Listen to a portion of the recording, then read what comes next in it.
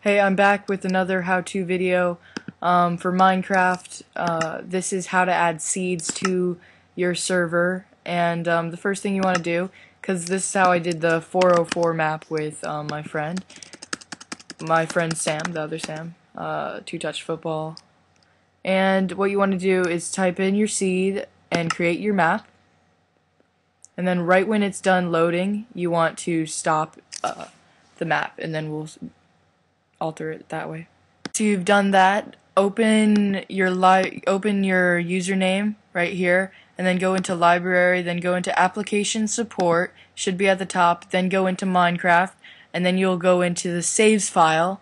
Yes, a lot of work, and then you'll see your new file that you just created. You want to drag that to um, your desktop or wherever you're keeping your server and you want to move that if you have a server folder like me once again move it into that um, I gotta change the name really quick. One two three four um, I'll move that into my mine server. And once again just like I showed you in the last video you have to um, turn off your server for this to load the new map. And then you have to go into your text edit um, and type in the name of the map, 1234 for this case, and just click save. Once you have that, um, you can repaste, uh, okay, repaste the Java XMX 1024 thing that you can find on the Minecraft download site. Um, it comes with the server download. And just, click enter, it should be loading your region. Um, you can open your Minecraft server, it will take um, some time to prepare a uh, seed world compared to a custom world. I do not know why that happens, but I guess this this seed is actually extremely big.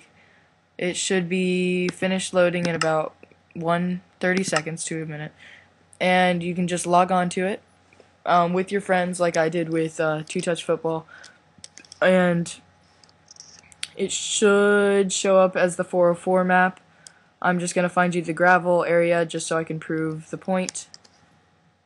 Okay, I think I see it up here. Um, yep, there's the gravel right there. Um, and now for the 404 map, all you have to do is uh, just dig one piece of the gravel, and it should fall straight in. And you can do this with your friends. It's a ton of fun playing custom maps with your friends. And just like um, my TV show or YogPod, uh, it's incredible. It's hilarious watching people do this. Um, so that's how you create your map. See, it just falls in like this. And it's pitch black. Okay, thank you. Okay, thank you. That's the second how-to video of the day. Um, if you have any questions, just leave them in the comment section below. I'll be um, just I I go on hourly pretty much right now, so you I will have be able to reply really quickly. Um, thumbs up and subscribe. Thanks.